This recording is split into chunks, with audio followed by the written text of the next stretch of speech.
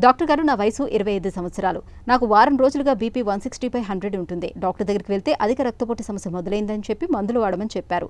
నాకు ఈ వయసులోనే బీపీ రావడానికి కారణాలేమిటి? బీపీ అదుపులో ఉంచుకోవాలంటే ఎటువంటి జాగ్రత్తలు పాటించాలి తెలియజేయండి అని అడుగుతున్నారు. ఈ ప్రశ్నకు డాక్టర్ గారి సమాధానం ఇప్పుడు తెలుసుకుందాం.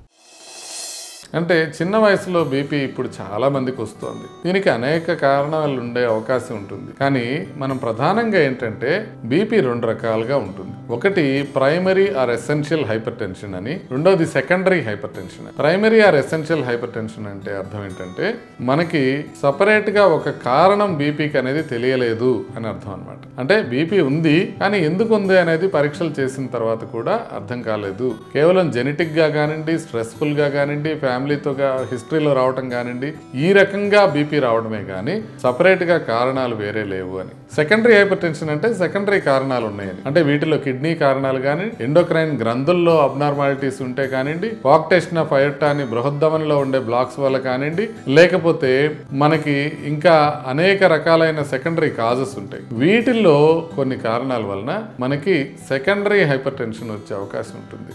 వీటిలో ఫియోక్రోమాసైటమాల్ అనేవి కూడా ఉంటాయి. సో వీటికి ఏం చేస్తారంటే కొన్ని రక్త పరీక్షలు కొన్ని యూరిన్ పరీక్షలు కొన్ని డాప్లర్ లాంటి పరీక్షలు ఇవి చేసుకున్న తర్వాత secondary hypertension rule out చేసుకుని ఏమీ కారణం లేదని తెలుసుకున్నట్లయితే జీవితాంతం రెగ్యులర్గా ట్యాబ్లెట్స్ టాబ్లెట్స్ వాడుకుంటే సరిపోతుంది.